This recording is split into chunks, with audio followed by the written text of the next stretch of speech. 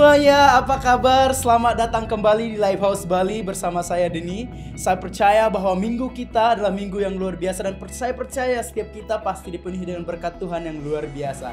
Sepanjang bulan ini kita belajar tentang the story of the cross dan saya percaya akan memberikan dampak tersendiri, berkat tersendiri atau pesan tersendiri buat setiap kita pribadi lepas pribadi.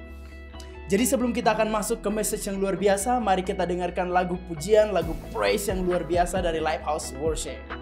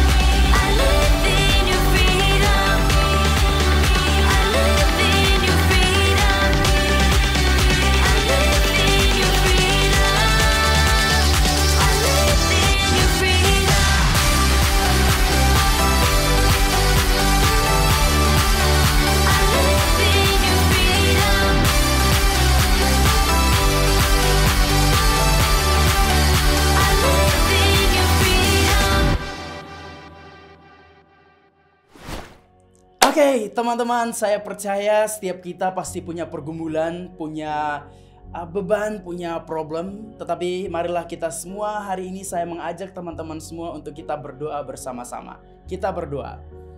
Terima kasih Bapak di surga, terima kasih Tuhan Yesus, terima kasih Roh Kudus untuk penyertaan yang luar biasa sepanjang Minggu ini sepanjang bulan ini Tuhan kami boleh mengalami kebaikan Tuhan dalam kehidupan kami.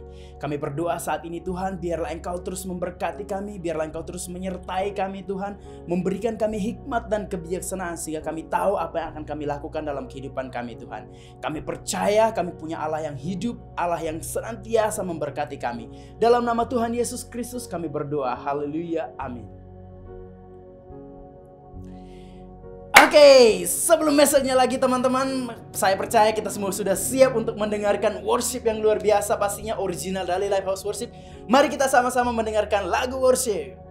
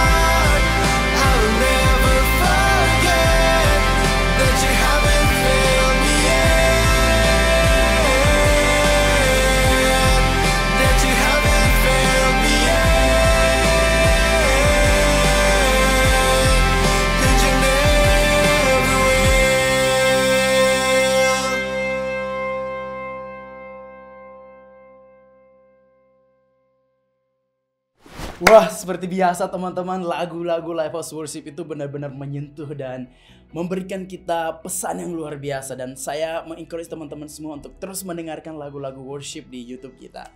Oke teman-teman, saatnya buat kita untuk offering atau tithing. Mari kita baca dulu satu ayat. Ayatnya adalah dari Mazmur 128 ayat 1 sampai 2. Di sana dikatakan bahwa berbahagialah semua orang yang menghormati Tuhan dan yang mempercayakan dirinya kepadanya, semua yang taat kepadanya. Pahala mereka adalah kemakmuran dan kebahagiaan.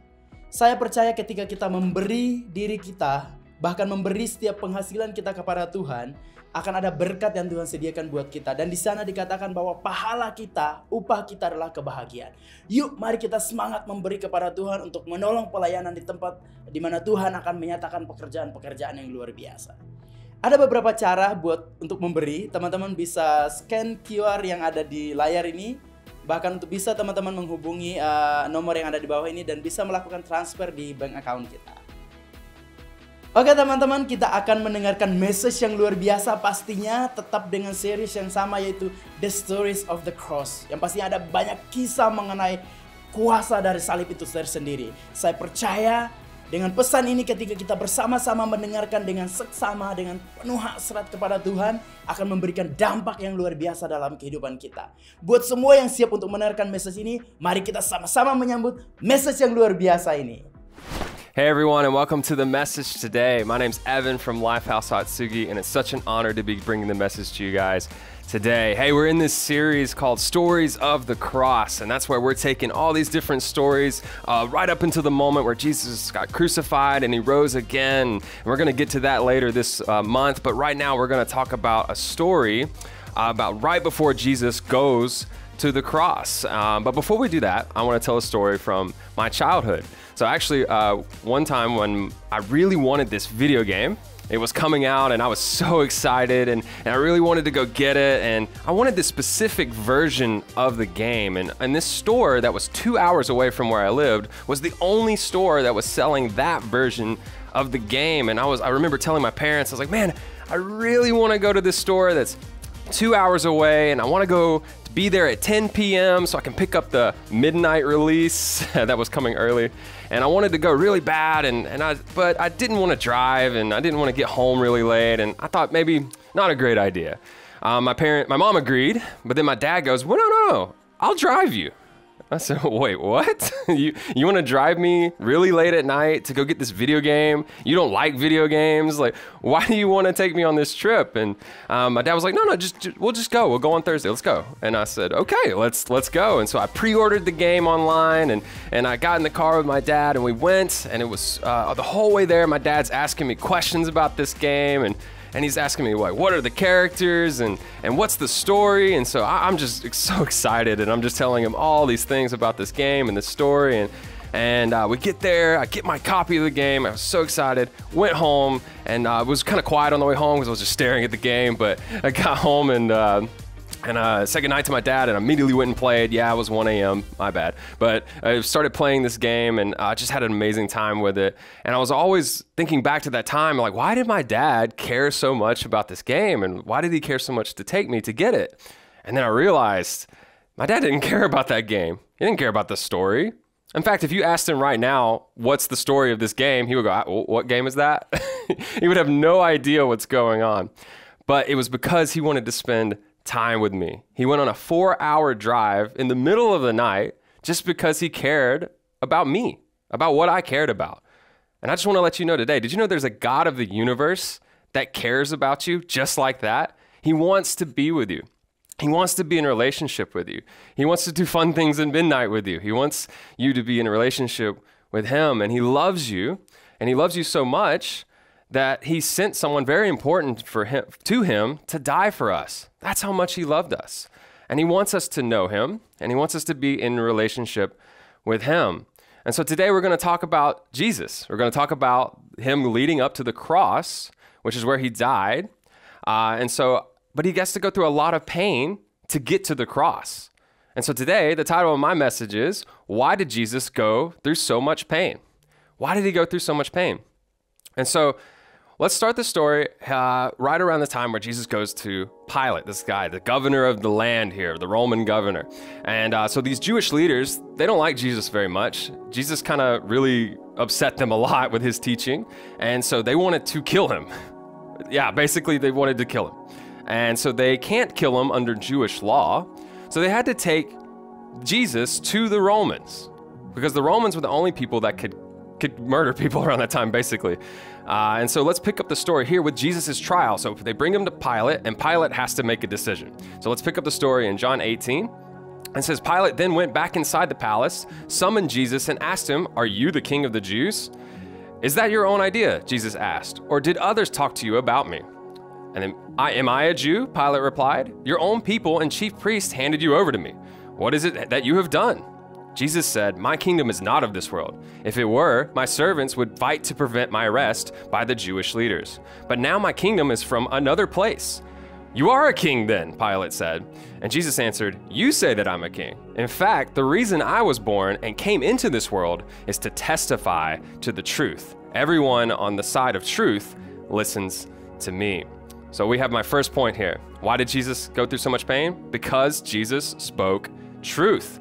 See, we're talking a lot about grace and truth this year, and, and you know, not everyone responded well to Jesus' truth, and, and they don't really respond well to Jesus' truth today either. But people don't respond well to truth at all. Do you like being told that you're wrong or that you that that you don't actually know what's going on? I don't like being told that. But we don't like to hear truth. In fact, truth is a lot of different things now. Truth, the world has its own truth, and that is to find happiness to put happiness and self uh, self satisfaction and pleasure over everything else. That is the truth of the world. Religion has its own truth, and that is that you can work really, really hard, and if you do a really good job as a human being and be nice to others and follow these rules, then you can live a great life and go into the afterlife. And that's religion. But Jesus, his truth, is not anything like that. Jesus' truth is grace, that we can't achieve anything, that we're not good people, that we deserve a different end to our life. We deserve death. But Jesus came to bring grace, to say that we don't have to experience that, but we have to believe in Him. So if we just follow Him, if we listen to what Jesus says, if we strive to be like Him, to live like Him, to, to love others the way He loved them, to follow His truth, then we can experience a life like no other. And when he, and he asks us to to love people, to love God, and then this will make our lives so much better. And but this doesn't sound popular. It doesn't sound fun to most people, and it's because it sounds like Jesus is trying to take away our fun. But in reality, Jesus is trying to show us a life that is better, way better than we can ever imagine on this earth. So that is the truth that Jesus brings that God loves us and that we should follow him. So let's talk a little bit more about that. So Pilate goes on uh, to try to release Jesus. He sees no wrong in him, though. He says, "I don't. this guy hasn't committed any crimes. I'm not going to kill him." Uh, but at this time, they actually had a ceremony where the Romans would release a prisoner that the Jewish people had in custody. And so it was around this time, around this year. So it just lined up. And so he's like, So I can release this Jesus guy. He's done nothing wrong. I can release him right now. But no, the people wanted them him to release the other criminal, the guy who should the guy who should serve a sentence, Barabbas. And so they let him go. They're like, no, give us Barabbas. And so Pilate says, okay, and then gives them Barabbas and keeps Jesus. But because he kept Jesus, he had to give out the punishment. And so now Jesus is taking on a punishment he doesn't deserve. And so the soldiers are actually beating Jesus. They're, they're, knocking him around. That says the Bible even says they slap him in the face. They take this whip with like nine whips on it and they strike him in the back. And they hit him so many times, and it has metal and glass shards on the end of this whip. And they hit him so many times that it's believed that he, he doesn't have much flesh going on in the back anymore, that his bones were exposed. Maybe even his organs were exposed. They beat him within an inch of his life. He's barely able to stand. He's barely clinging on to life. And then they take, at that moment, uh, the lowest of low, they take this crown of thorns and they shove it onto his head and like cause a lot of pain up here as well. And so then they take this purple robe, which is the sign of royalty, and they throw it around him at the end. And this is a sign of mockery because they were mocking him, saying that he was a king. So let's pick back up in the story. When Jesus came out wearing the crown of thorns and the purple robe, Pilate said to them, Here is the man. As soon as the chief priests and their officials saw him, they shouted, Crucify! Crucify! But Pilate answers, You take him and you crucify him. As for me, I am I have find no basis or charge against him. And the Jewish Jewish leaders insisted, We have a law, and according to that law, he must die, because he claimed to be the Son of God. And when Pilate heard this, he was even more afraid, and he went back inside the palace. Where do you come from? he asked Jesus. But Jesus gave him no answer. So you see, Pilate heard their claim. He heard them say that this man claims to be the Son of God. And he was afraid because Pilate, deep down, he knew. He knew that Jesus was the Son of God. And that's my second point and why he went through so much pain. It's because Jesus is the Son of God. So he was hurt because he claimed to be the Son of God. And some people don't like hearing that. Like they definitely didn't hear it back then. Some people don't like hearing it now. But Jesus is the Son of God. And there comes a point in our lives where we come to this crossroads, where we hear that Jesus is the Son of God. We hear the story of Jesus, and we can choose to accept it, that He is the Son of God, or we can choose to deny it and go along with our lives. Um, and maybe this is your first time hearing this. So I'm going to break it down for you a little bit of just the probability. Let's let's talk, let's talk a little math right now. Uh, so Jesus claims to be the Son of God, the Messiah, the Christ. There are over 300 prophecies in the Old Testament that talk about how the Son of God, the Messiah, and the Christ will come into being, how he will how he will come about. Uh, and just looking at the math of that, the probability of that, to just fill, fulfill eight, eight of the, uh, over 300 prophecies, just to fill eight of them is mathematically impossible. And so, if you look uh, in the states, we have this massive state called Texas. It's over 600,000 square kilometers. It's massive. Now, if you were to take that whole area and you were to fill it with 500 yen coins, and you were to, like, that's about this size, and if you fill it up to one meter high on the whole area, and then you took a random red coin and you found a random spot and you put it in that pile of coins that are a meter high, over 690 kilometers, 90,000 kilometers, and you put that coin in there, you blindfolded someone and you helicopter dropped them into the middle of that state, and they got to choose where they landed. They said, land now. And then they had to go, and what's the probability of them bending down and picking up that one red coin? Impossible. There's no way, right? And so if you think about that, that's eight prophecies to be fulfilled in one man. Yet Jesus fulfilled all of the prophecies. He fulfilled all of the prophecies, over 300 of them. That's an insane number. So Jesus has every right to look Pilate in the face and say, Let me tell you why I'm the Son of God. I know I'm the Son of God. But he didn't. Jesus doesn't defend himself. He doesn't say all the math I just stated. He doesn't give a reason. He doesn't try to convince him, he just remained silent. And Pilate was still afraid of Jesus. Isn't that something? Isn't that powerful? Because deep down, we know the claim is true. Deep down, we know there is a God of this universe. Deep down, our heart yearns for God, yearns for a creator. And did you know, like, God even talks about this in the Bible too. Jeremiah 29 11. We love that verse here at Lifehouse, but it goes on to verse 13 as well. It says, For I know the plans I have for you, declares the Lord plans to prosper you and not to harm you, plans to give you a hope and a future. Then you will call on me and come and pray to me, and I will listen to you. You will seek me and find me when you seek me with all of your heart. You see, deep down, we know, you know, there is something much bigger than us in this world. There is a God of this universe. And He calls to you today. He wants to be in relationship with you today. And He sent His Son, Jesus, to come here to, so that we could fulfill this, so that we could be in relationship with Him. And so we all must answer to this someday. We all have to choose to believe whether or not Jesus is the Son of God and that God sent Him for us. But know this Jesus is the only way to heaven. So I know there's a lot of talk out there. We're talking about truth. There's a lot of different kind of claims out there that you can get to heaven through any other way, or you can find happiness or nirvana or all these other things through different ways, or that there's multiple ways to get to God because we're all religions lead to. No, no, no, no, no. Let's look at what Jesus says. John 14, 5 through 7 says, Thomas said to him, Lord, we do not know where you are going. So how can we know the way? And Jesus answered, I am the way, the truth, and the life.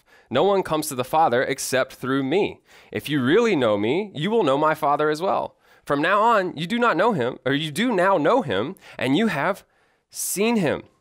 So let's finish our story back into when he's in front of Pilate and said, It was the day of the preparation of the Passover. It was about noon. Here is your king, Pilate said to the Jews. But they shouted, Take him away, take him away, and crucify him. Shall I crucify your king? Pilate asked. And they said, We have no king but Caesar. Finally, Pilate handed him over to them to be crucified.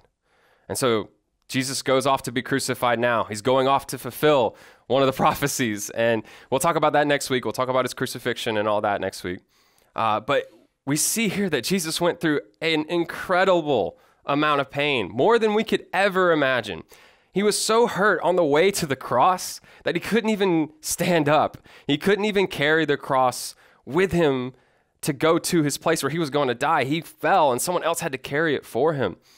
And so we got to wonder why would someone willingly go through that? Why would they step into that? It's because Jesus had a purpose. It's because Jesus wants us to be in relationship with God. And because Jesus went through this pain, we can be in relationship with God. You see, a long time ago, we as humans, we sinned. We, we made a mistake. And then the punishment for that mistake was death. We were told we needed to die for our sin, for our mistake. We were separated from God. We couldn't be in relationship with Him anymore. But God sent His Son, Jesus, and Jesus lived a sinless life. He did not commit one mistake, He didn't do one mistake. And then He went and willingly got in our place. He gave us grace and He stood in our place and took death for us. And then, like, spoiler alert, but He rose again from the grave and came back. And again, we'll get into that. But He just wanted you to know that Jesus came to give you grace, to die for you. And you can experience that today. But I want to tell you my story with Jesus, my personal story. You see, I I, I kind of grew up in the church, uh, but I, I kind of understood things. But at the same time, I, I, I, don't know if I fully believed. I did know I, I knew of Jesus and I knew of God and, and I, I knew God existed, but but I didn't really like follow Jesus. I didn't really like listen to his teaching. Uh, but I, I kind of said the little prayer, like, oh yeah, I want to I want to know Jesus, like kind of thing. But I never really like dove into it. And so when we when we go to I go to my life in college, and then I started doing some crazy stuff. I started like living my life like I wasn't a Christian, and I kind of like was experimenting with things, and I came, I came to a point where I didn't even think I believed in God anymore. I thought I'm pretty sure I was an atheist at one point.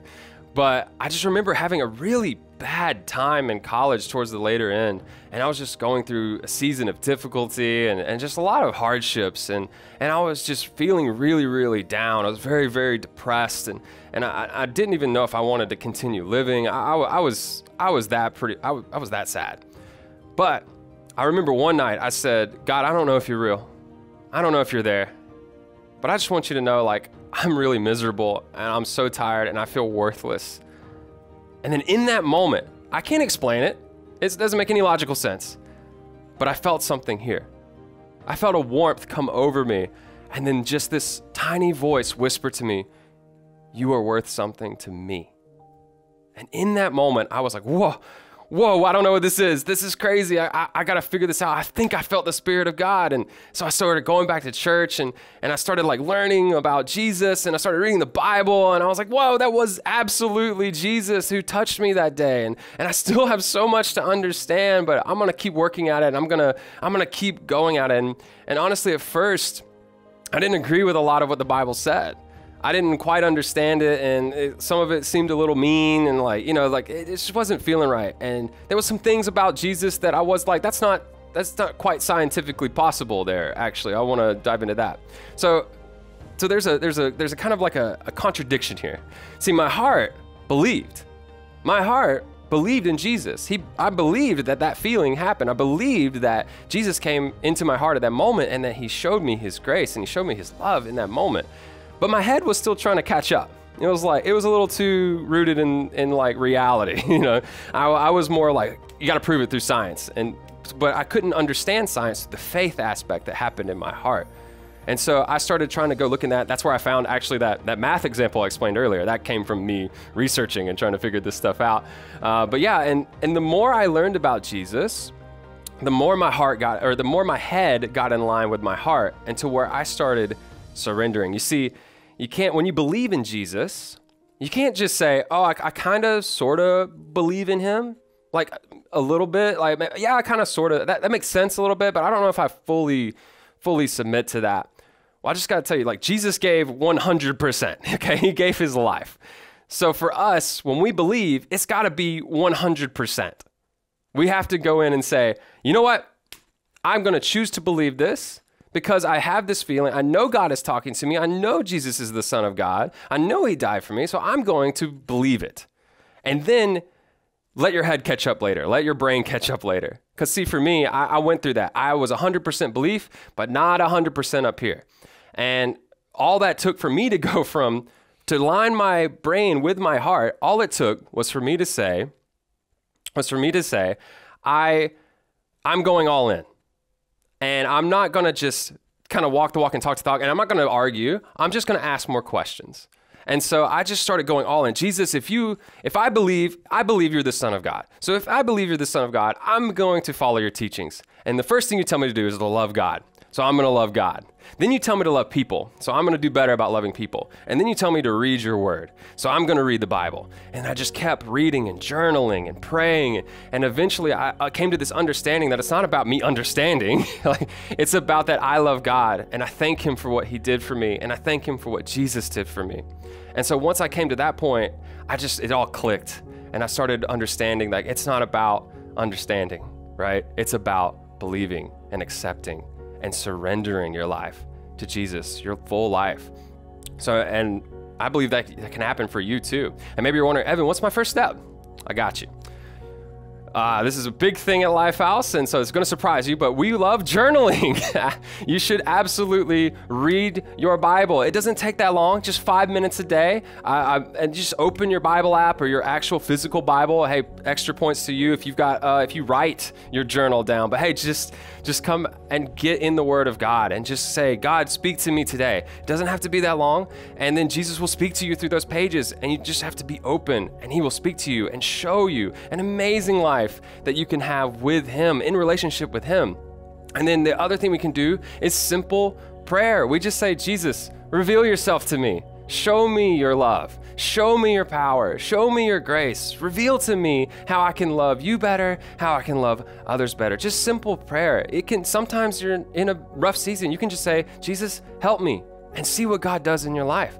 It doesn't have to be long, it doesn't have to be wordy. You can just talk to God. Talk to Him like you would talk to your parents, like you would talk to your father. Just say, Hey, dad, what's up? like you know, it's just because Jesus wants to spend time with you. Just like my dad wanted to spend time with me on a four hour drive at midnight.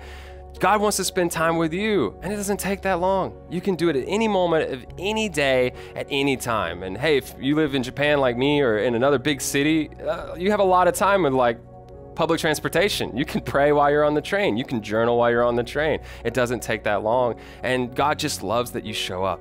God loves that you spend time with Him. He just wants a relationship with you. So let's recap a little bit. We're talking about we're talking about grace and truth this year, and and here's here's the grace that Jesus gave us. We were supposed to die. We have we, we were supposed to die in our place for our sin, for our mistakes. But Jesus came and he died in our place and he rose again and he and he took that death off of us and all we have to do is believe in him and that's the truth. So the grace is that Jesus died for us. The truth is that we have to put our belief in him in order for us to receive that blessing, receive that grace, receive that mercy. And so, why did Jesus go through so much pain? Why did he go through so much for us? And that's because God loved us. God didn't want to live apart from us. When we messed up, He didn't get mad at us. He said, No, I've got to have you back. I'm sending my son to come save you. So God wants to be in relationship with you. He loves us so much that He sent His son. I'm going to leave you with one more verse before we finish.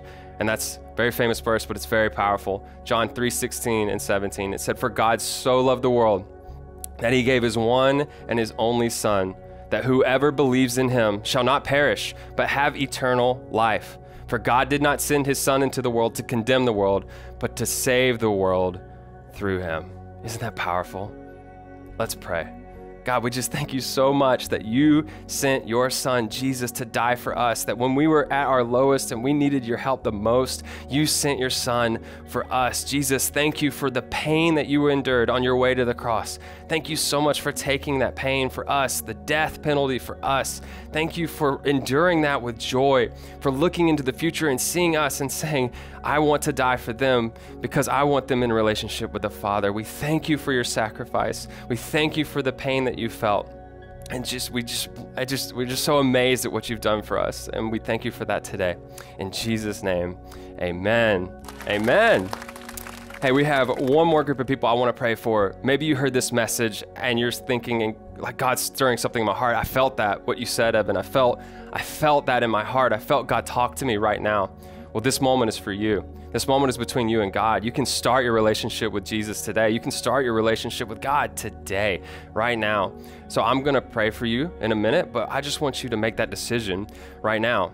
And so when I count to 3, I want you to raise your hand right where you are or you can you can pray that prayer in your heart. This is a moment between you and God, and all this is is a declaration to say, Jesus, I believe in you.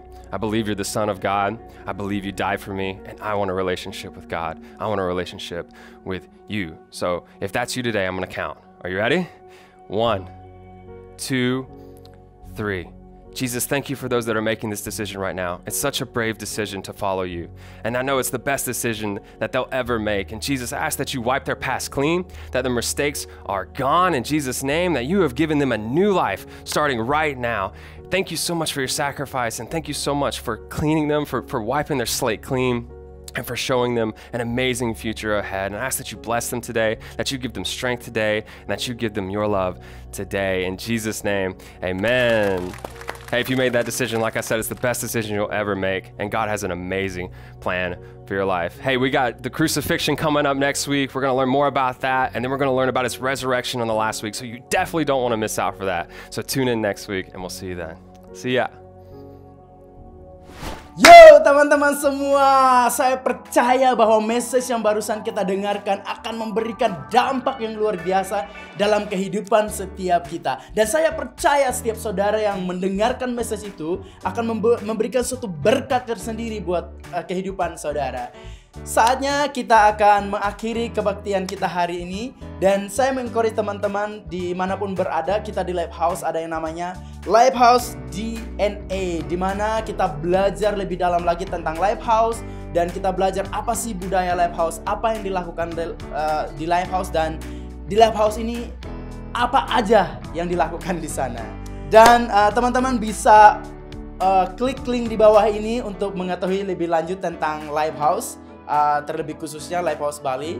Di sana teman-teman akan mendapatkan berbagai macam informasi tentang Live House.